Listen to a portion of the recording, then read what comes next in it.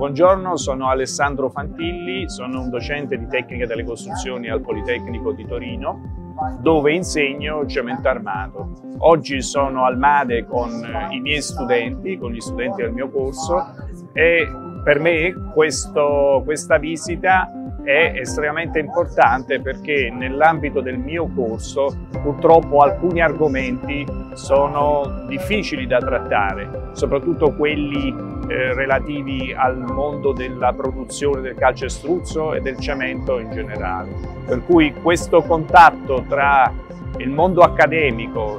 gli studenti e le industrie che in qualche modo sono coinvolte nella filiera del cemento e del calcestruzzo è estremamente importante perché permette a chi si affaccia per la prima volta in questo mondo di capire